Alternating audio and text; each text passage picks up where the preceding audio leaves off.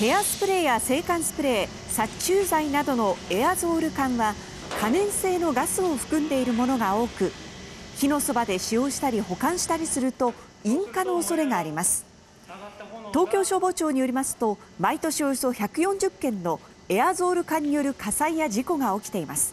今年は特に節電の影響で冷却スプレーや制汗スプレーが多く売れているということです。